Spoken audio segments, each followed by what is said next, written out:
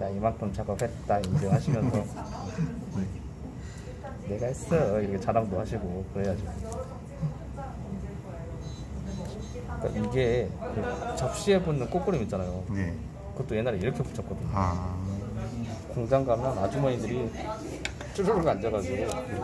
접시 하나씩 쭉 끌고 온 다음에 싹 이제 수건으로 싹 빼요 이거를. 그래갖고 이제 붙이고 손으로 들고 제일 나중에 이제 유약 다시 발라고 이제 코팅하고 그랬으니까. 지금은 이제 그걸 다 기계로 하고 있어서.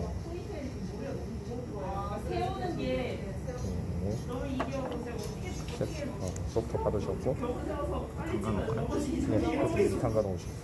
이렇게 담가 놓고. 아까 당근했는데 빼갖고 한번 해보세요. 이제. 개인 아까 담그셨죠? 아깝네. 안 밀릴 거예요, 이제. 연두 그 연두색 형광색으로만 나왔어도 딱 좋았는데 응.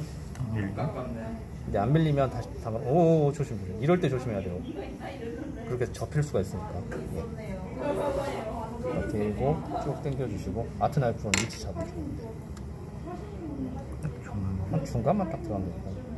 네. 그리고 이제 면봉으로 꾹꾹 누르시면 돼요. 탱글뱅글 돌리면서.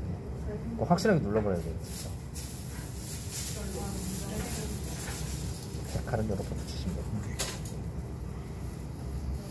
재밌네요, 이거.